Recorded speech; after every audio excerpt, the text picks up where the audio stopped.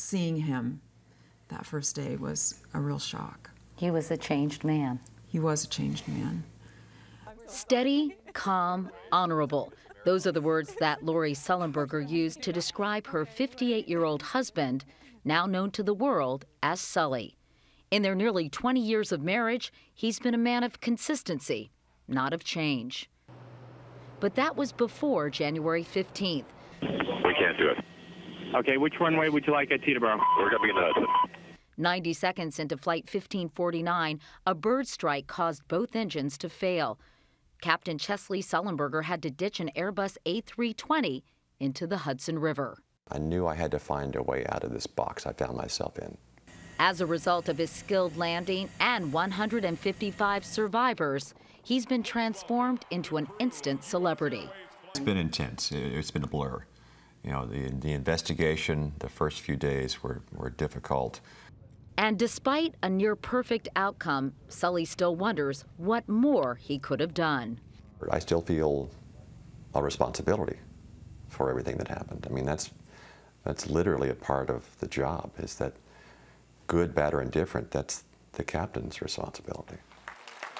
Meanwhile, at their home in Danville, California, he and his wife say the word hero makes them both uncomfortable. Sully was thrust into a situation and did what he knew to do. It wasn't a situation of his choosing. I'm proud of him. I am immensely proud of him, and I'm grateful to have him home. Um, but I don't think of him as a hero either. I'm afraid. But he was prepared. After getting his pilot's license at 16, he was an Air Force fighter pilot and has flown commercially for nearly 30 years. He's an expert on accidents, has trained pilots and crews in emergency procedures, and has written extensively about how crews react in crises.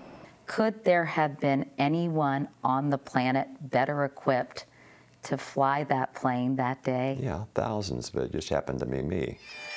Ten days after the accident, he was back home, a hero in public, but a husband and father in private. I, I, I wasn't able to connect with him emotionally right away the way I hoped I would.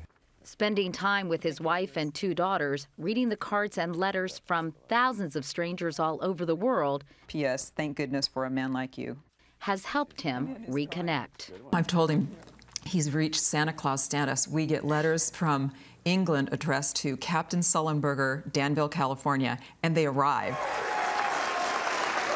And coming face to face once more with the passengers of Flight 1549 was a reminder not only of the lives saved, but the families brought closer together. I'll never be able to tell you what what's what you've done for us, including his own.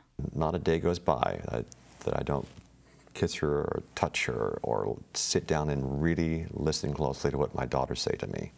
Sounds like it's given you a greater appreciation for your family. It has, and for my life.